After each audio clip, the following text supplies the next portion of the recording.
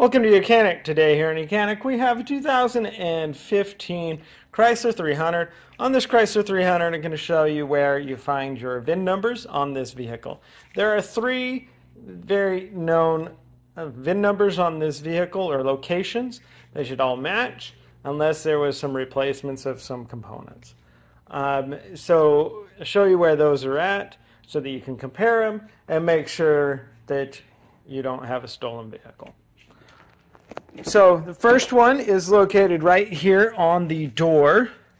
And so as we we've opened up the pass the driver's door, we have the location, we have the manufacturer by the Chrysler Fiat or the Fiat Chrysler um, group, and then um, where it was manufactured a lot of times, like right here, it was made in Canada, and we have our VIN number right there.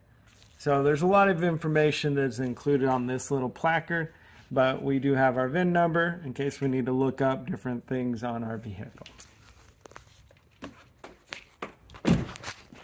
We have the other uh, VIN number that's located right down here inside the window. The bottom of the window on your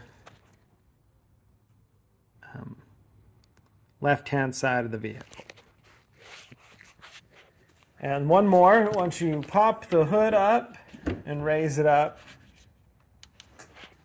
we have one in the engine bay, so if we're looking at the vehicle, it'll be on the right-hand side of the vehicle if you were sitting in the seat. And we have the VIN number that is stamped right here inside the engine bay. And generally all three of these uh, VIN numbers should match, coincide together, unless there was ever some components replaced um, for any other reason.